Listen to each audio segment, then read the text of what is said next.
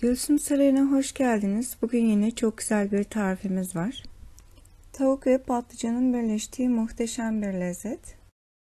Üzerine hazırlamış olduğumuz patates püresi. Yanında sarımsak yoğurtla tadına doyamayacağınız saksı kebabı. Gerekli olan malzemelerimiz 3 bostan patlıcan, 4 yeşil sivri biber, 5 diş sarımsak, 2 adet domates, 2 adet soğan, 4 yemek kaşığı sıvı yağ, baharatlar, karabiber, kırmızı biber, kekik, tuz, 400 gram yıkanmış tavuk göğsü, 2 yemek kaşığı salça, 1 yemek kaşığı sıvı yağ, 1 çay kaşığı kırmızı toz biber, 2 su bardağı su. Bostan patlıcanın öncelikle uç kısmını çıkartıyoruz. Daha sonra gördüğünüz şekilde bıçak ile yaklaşık 1 santim eninde soyuyoruz. Karşı tarafını da aynı şekilde bıçak ile tekrar soyuyoruz. Patlıcanımız alacı olmuş oluyor. Her yerini soymayacağız. Gördüğünüz şekilde hepsini soyuyoruz ve patlıcanları ikiye kesiyoruz. Diğer patlıcanları da kesiyoruz. Ve içine bıçak ile çıkartıyoruz. Kaşıkla da çıkartabilirsiniz. Nasıl kolayınıza gelirse öyle yapın. İçini tamamen oyuyoruz. Patlıcanları bol suyun içerisine koyuyoruz. Üzerine bir yemek kaşığı kadar tuz ilave ediyoruz. Yarım saat kadar patlıcanları suda bekletiyoruz.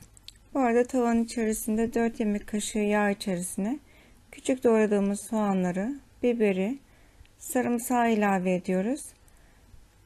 2-3 dakika hepsini birlikte kavuruyoruz. Kavururken sürekli karıştırmamız gerekiyor.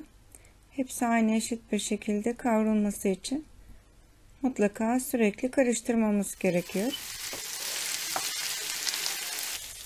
Küçük doğramış olduğumuz tavuk etini içine ilave ediyoruz. Tavuğu da hep birlikte 3-4 dakika kadar daha kavuruyoruz. Kavruldukça tavuk etleri renk değiştirecektir. 3-4 dakika kadar da tavuk etiyle birlikte kavuruyoruz. Kavururken yine sürekli karıştırmamız gerekiyor. Soyup küçük doğramış olduğumuz domateslerimizi ilave ediyoruz. Domates ile birlikte hepsini soteliyoruz. Karabiber, kekik, kırmızı toz biber ve tuzumuzu da ilave edip tatlandırıyoruz. Baharatlarımızı ile de birlikte karıştırarak tamamen tadını almasını sağlıyoruz. İç harcımız hazırdır.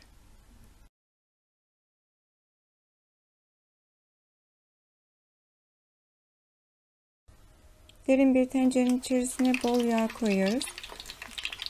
Ve patlıcanlarımızı içerisine koyup patlıcanlarımızı çevirerek kızartıyoruz. Üzerine kadar yağ doldurmaya gerek yok. Zaten çevirdikçe patlıcanlarımız orantılı bir şekilde her yeri kızaracaktır. Hepsini aynı şekilde kızartıyoruz. Kızartmış olduğumuz patlıcanları fırın tepsisine alıyoruz. Ve içini gördüğünüz şekilde hazırlamış olduğumuz tavuklu soğanlı harçtan dolduruyoruz. Üzerine kesmiş olduğumuz yuvarlak domates dilimlerini diziyoruz. Bir kasenin içerisine 2 yemek kaşığı salça, 1 yemek kaşığı sıvı yağ, 1 çay kaşığı kırmızı toz biber ilave ediyoruz.